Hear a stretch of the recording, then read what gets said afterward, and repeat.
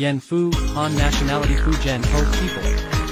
An important bourgeois thinker in modern times, famous translators, teachers, and new legalists were there. He then went to Fujian Ship Administration School and Royal Naval Academy. That he once worked as the general office of the first bureau of Jingshi University Hall.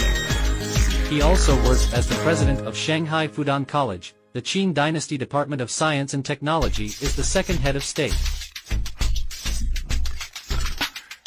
While teaching at Beiyang Navy School founded by Li Hongzhang, trained the first batch of naval talents in modern China and translated the theory of heavenly evolution, founded the Chinese newspaper.